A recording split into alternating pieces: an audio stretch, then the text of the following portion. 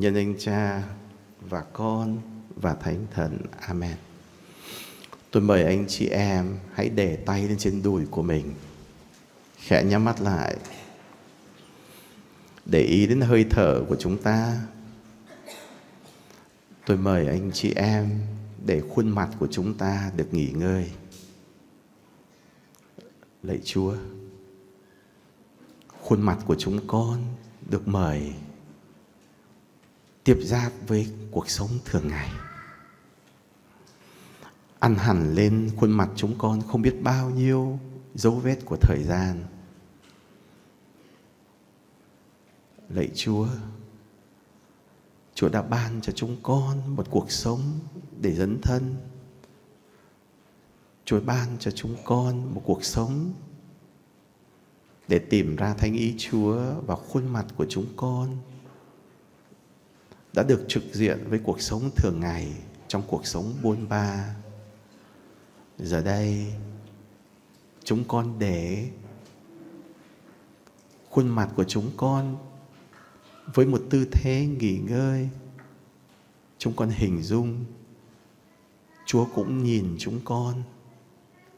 Chúa cho chúng con thấy diện mạo của chúa trong sự thinh lặng. Lạy chúa chúa đã nhìn chúng con bằng đôi mắt yêu thương của chúa từ thuở đời đời mà trong yêu thương đó, chúa gọi chúng con làm người. Chúa mời chúng con trở nên người cha, người mẹ, anh em, bạn hữu, những người dấn thân trong đời sống ơn gọi và Chúa tiếp tục nhìn chúng con bằng khuôn mặt của lòng thương xót. Khoảng khắc này, hãy để cho chúng con được nhìn Chúa trong khuôn mặt yêu thương của lòng thương xót Chúa. Tôi mời anh chị em khẽ để đôi vai của chúng ta được nghỉ ngơi lạy chúa, đôi vai mà chúng con gánh vác biết bao nhiêu bổn phận, đôi vai chúng con gánh vác biết bao nhiêu gánh nặng của cuộc sống đời thường. Chất chứa không biết bao nhiêu nỗi lo toan.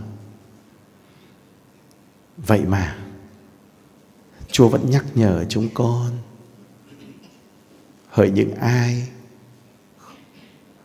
đau khổ, khó nhọc. Hỡi những ai có gánh nặng trong cuộc đời của mình, hãy đến với ta. Ta sẽ bổ sức cho và ban cho ngươi. Được ánh êm ái và gánh nhẹ nhàng của ta.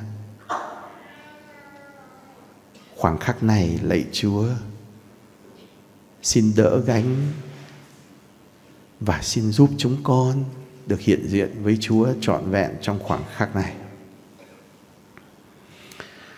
Tôi mời anh chị em khẽ để đôi tay của chúng ta được nghỉ ngơi. Thẩm thị nói với Chúa, Lạy Chúa, đôi tay kiến tạo nhưng cũng có những lúc đôi tay chúng con đã làm phá vỡ đánh đổ biết bao nhiêu những điều tốt đẹp mà Chúa dựng cho chúng con. Đôi tay mà chúng con được mời gọi, nắm bắt tình yêu của Chúa, nhưng có những lúc chúng con lại nắm bắt của cái danh vọng. Có những lúc chúng con nắm bắt sự ích kỷ của cuộc đời và làm đó là nguồn thích thú cuộc sống của mình lạy Chúa, xin nắm bắt đôi tay chúng con trong khoảng khắc này. Tôi mời anh chị em khẽ để đôi chân của chúng ta được nghỉ ngơi. Thẩm thị nói với chúa. Lạy chúa, đôi chân đôi chân Chúa dẫn lối vào cuộc sống đôi chân bước vào trong bổn phận. Đôi chân mà chúng con đã đi những bước song hành với Chúa, với vợ chồng, con cái và những người thân quen. Chúa đã cho chúng con đứng vững trên cuộc đời này bằng những đôi chân, với sự kiên vững và can đảm. Tạ ơn Chúa vì Chúa vẫn tiếp tục chúc phúc cho đôi chân yếu đuối đấy được bước những bước vững chắc trong niềm tin của chúng con.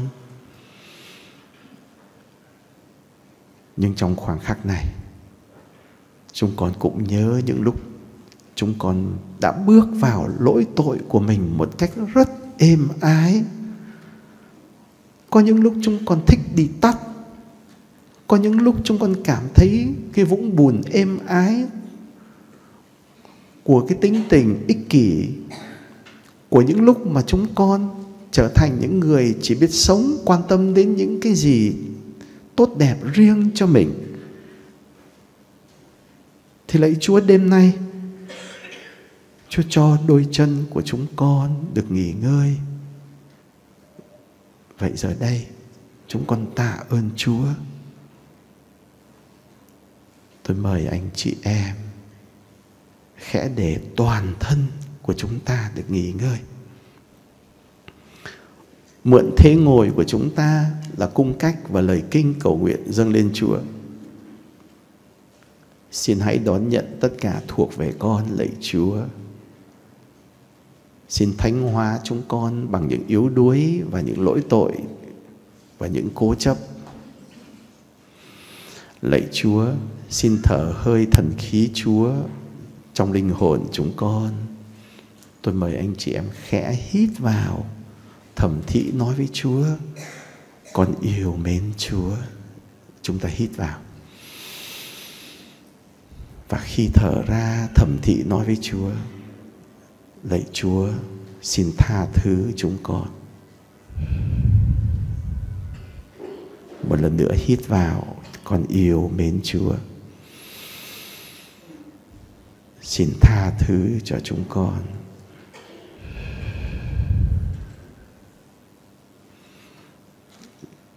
Lạy Chúa. Vậy tất cả những gì thuộc về con,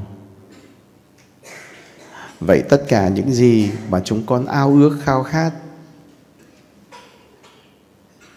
Chúng con dâng lên Chúa Xin Chúa chiếm hữu chúng con trong tình yêu và lòng thương xót của Chúa. Xin Đức Mẹ và Thánh Du Xe đồng hành với chúng con, an ủi chúng con trong những đêm mà chúng con tĩnh tâm với nhau. Ở với chúng con, đi với chúng con, an ủi chúng con, biến đổi chúng con lạy Chúa ban cho chúng con tình yêu và ân sủng của Chúa đối với chúng con. Thế là đủ. Thế là đủ. Và xin đừng để chúng con lìa xa Chúa bao giờ.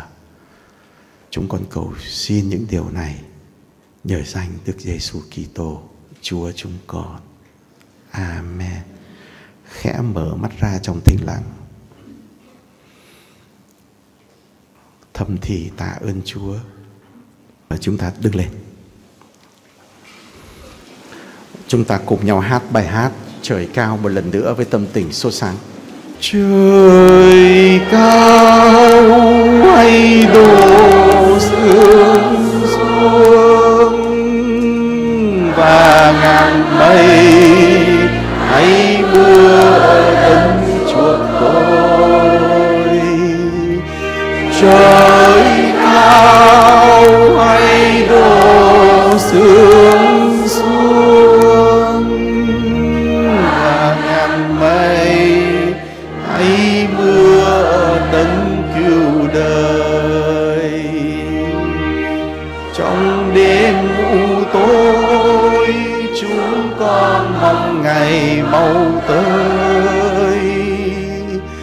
như nay đang khát nước mong mau tìm thấy suối. Chúa ơi, dừng cơn giận chúa lại thôi. Chúa ơi, đoàn con đã hối tội rồi. Trời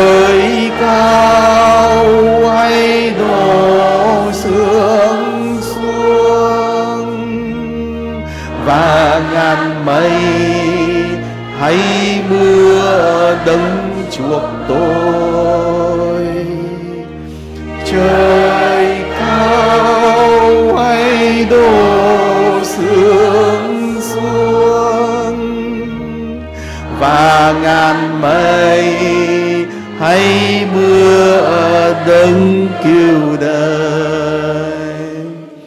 Sang danh Đức Chúa Cha và Đức Chúa Con và Đức Chúa Thánh Thần như đã có trước vô cùng, và bây giờ, và hằng có, và đời đời chẳng cùng a nữ vương thánh mẫu là vang. Các thánh tử vị đạo nước Việt Nam. Nhân danh cha và con và thánh thần. Amen. Mời anh chị em an tọa. Anh chị em buồn ngủ không? Lúc cầu nguyện có cảm thấy phê không? Có cảm thấy mình sắp sửa gọi là chu du miền cực lạc không? Ê, tôi vẫn nói với mọi người thế này này. Tại sao mà cứ đợi đến lúc mà chết thì người ta mới bắt đầu gọi là chúc nhau phiêu diêu miền cực lạc? Trong khi thì cực lạc nó nằm ở đâu? Ở ngay đây rồi. Anh chị có đồng ý không? Lạc là gì? Lạc là gì?